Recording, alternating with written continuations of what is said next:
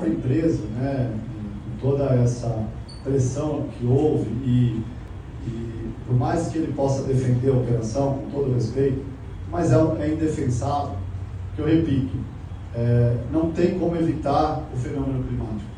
Os países desenvolvidos não evitam o fenômeno climático. Né? A, a, a grande diferença é a capacidade de resposta para restabelecer a vida o mais rápido possível.